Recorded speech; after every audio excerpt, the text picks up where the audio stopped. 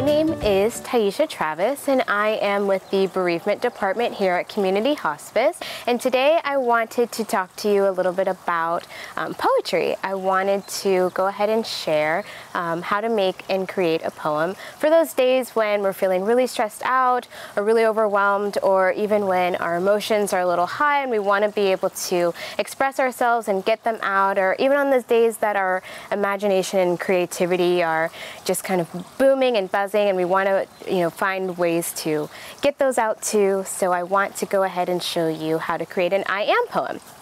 So for our I am poem, all you need are going to be paper or something to write with, or even if you want to use a computer um, for a Word document, just anything that you can write with.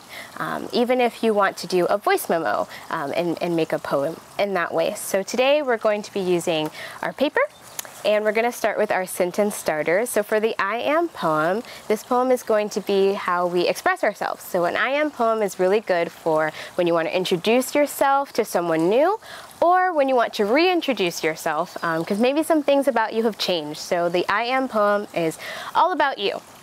So the first sentence starter we have for the I am poem is I am. And you want to go ahead and name two special characteristics about yourself. So any kind of adjective that describe who you are. And second, we're going to say, I wonder. So something that you're curious about or something that you have a question about. I hear. So something that you hear or even something that you imagine that you hear. I see. I want. So something that you want, something that you wish for. I pretend. So something that's imaginary or something that you just pretend to do or have. I feel.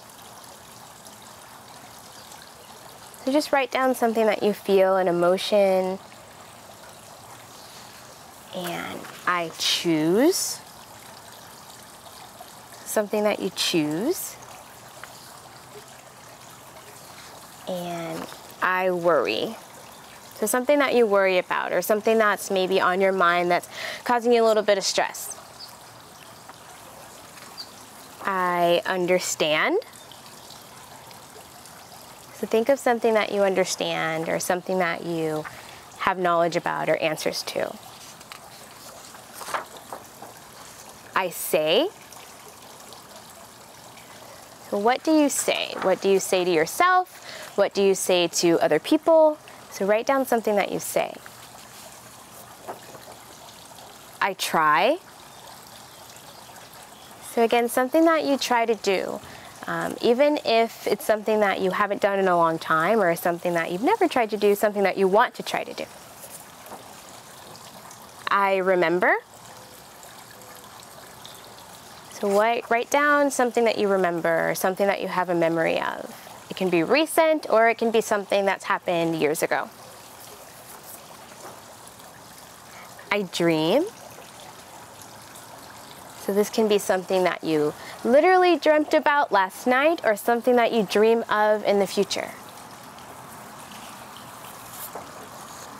I hope.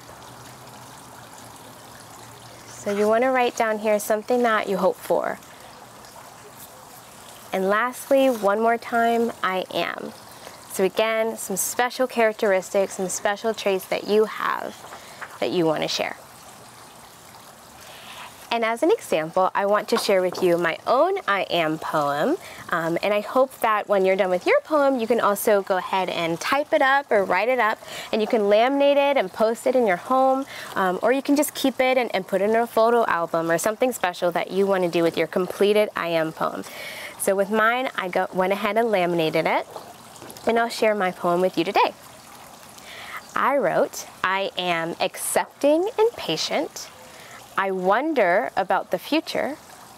I hear people outside laughing. I see cows outside my bedroom window. I want to be heard. I pretend to have magic. I feel the wind around me. I choose to be positive. I worry about getting older. I understand the vastness of the universe. I say things that help people. I try to help others to the best of my ability. I remember most things my parents tell me. I dream of writing a book. I hope to visit my family soon, and I am accepting and patient.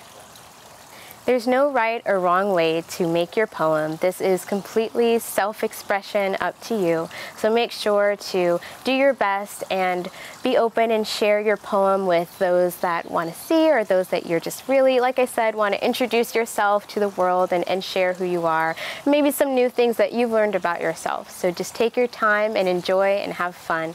And like I said, please remember that we can type this up and share this and post it on our fridge or post it um, in an email and share it. Um,